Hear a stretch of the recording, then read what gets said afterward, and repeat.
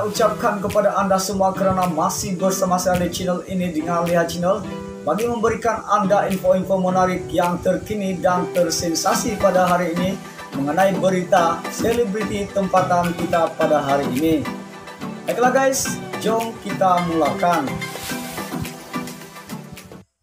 Zara Zia menjelaskan tidak mempunyai kaitan dengan cawangan minuman Bubble Bee Bandar Tasik Permaisuri Ceras yang diusahakan oleh penyampai radio dan pelawak Swib.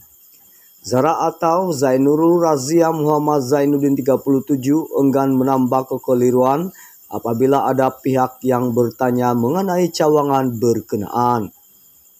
Saya tidak mempunyai kaitan lagi dengan cawangan di Ceras, jadi saya ingin mengelakkan kekeliruan pada masa akan datang berhubung isu ini. Kali terakhir saya dimaklumkan mengenai urusan cawangan jenama minuman berkenaan adalah pada Desember tahun lalu.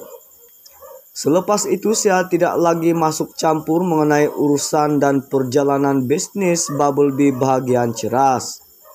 Bukan apa, saya ada menerima kiriman message dari peminat dan rakan terdekat yang ingin membeli.